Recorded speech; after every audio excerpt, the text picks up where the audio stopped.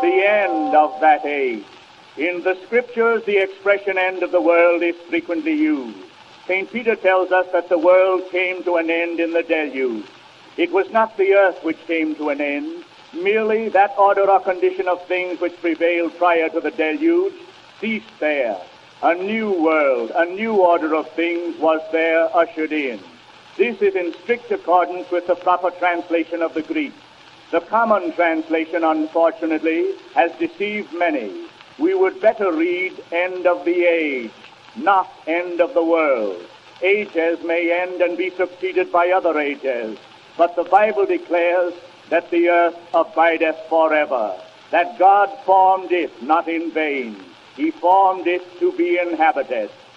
It has never been thoroughly habitable, nor has it ever been inhabited in the proper sense of the term. The work of Messiah's kingdom will be to make God's footstool glorious and fit for those restored to his favor.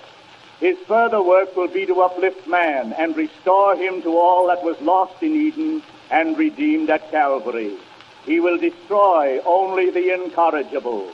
In the new order of things started by Noah and his family, God allowed humanity to have its way and to work out its own schemes without divine interference except in extreme cases. He allowed the world to learn lessons while he carried out his own great plan, of which redemption is the center and Messiah's kingdom the circumference for the recovery of mankind from their fallen estate. The development of God's plan has been long from the human standpoint, but not so from the divine. For we read, A thousand years in thy sight are but as yesterday. And again, a day with the Lord is as a thousand years. During six of these thousand year days, in which he rests or desists from interfering with the world's affairs, God has permitted a reign of evil, but his arrangements are complete, whereby Messiah, the Redeemer, will fully restore all the willing and obedient to all that Adam forfeited.